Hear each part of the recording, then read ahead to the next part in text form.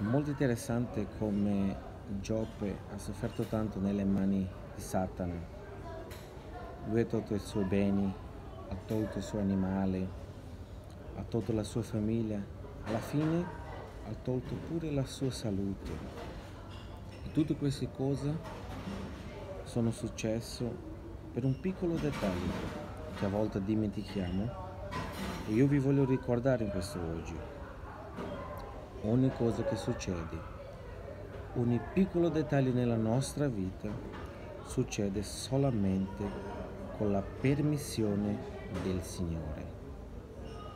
Dio ha permesso queste cose nella vita di Giobbe perché sapeva che a alcun modo queste cose sarebbero per il suo beneficio e sarebbe anche per il nostro beneficio oggi in giorno.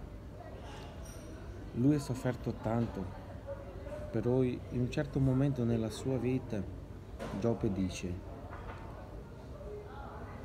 io so che presto il mio Redentore si alzerà favorevole a me. Io spero che il tuo giorno sia pieno di felicità e di molta gioia. Però se non sarà così, aggrappati a questo. Sia tu consapevole che il tuo Redentore vive e presto lui si alzerà favorevole a te.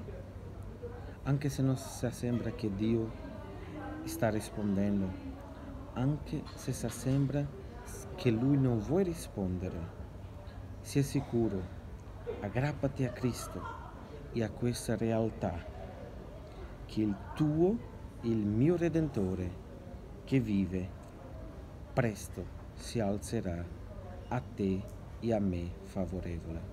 Che il Signore vi benedica.